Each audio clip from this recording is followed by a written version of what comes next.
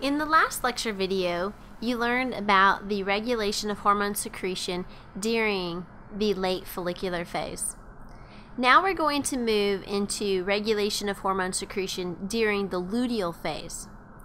So keep in mind that the Graafian follicle has ruptured, so there is no longer a follicle. Okay, if you recall from the previous video when I labeled this estrogen level here as a C, that was due to the granulosa cells. Well, during the luteal phase, the Graafian follicle has ruptured. So there is no more follicle, therefore there are no more granulosa cells to synthesize and secrete estrogen. So what that means then is that these estrogen levels are going to decrease. So if we look at this decrease in estrogen levels here, that's why the levels are going down because there is no more follicles, follicle, so there are no granulosa cells to synthesize and secrete that estrogen.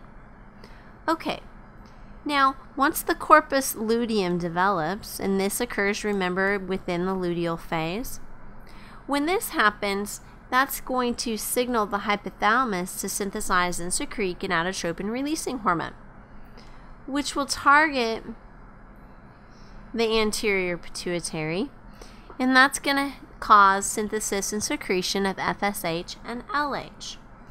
So like before, we're going to use an A to represent LH on your diagram, and we're going to use FSH, a B, to represent the increase in FSH on your diagram.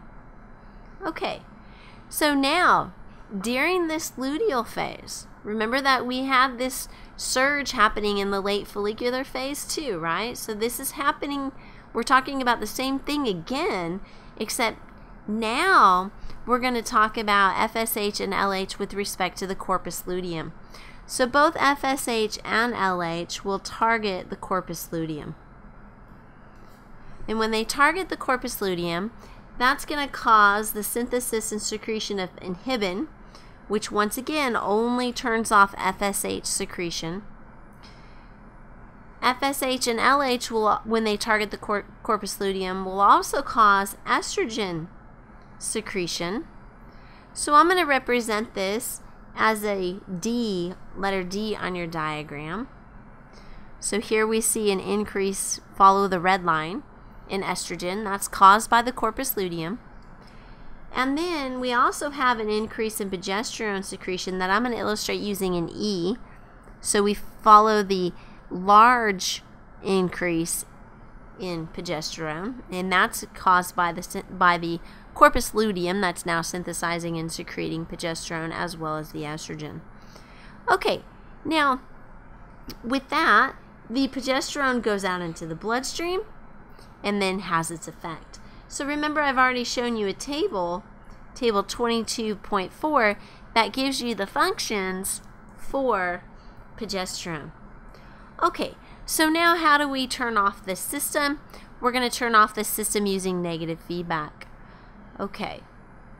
So when we turn off the system, we're going to turn off both FSH and LH as well as gonadotropin releasing hormone.